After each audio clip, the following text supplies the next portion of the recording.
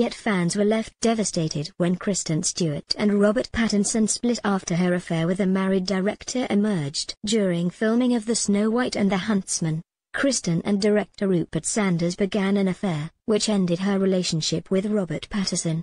However, the former couple have now been spotted out together in Los Angeles at celebrity haunt, Chateau Marmont. Kristen, 27 and Robert, 32, were seen keeping a low profile as they were stood outside a party for Lily Rose Depp.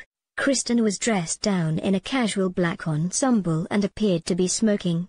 Meanwhile, Robert, who recently split from his fiancée FKA Twigs, wore jeans and a t-shirt, with a jacket and black baseball hat. It's reported that this is not the first time the former couple have reunited, with the pair having gotten together a few times over the past several weeks.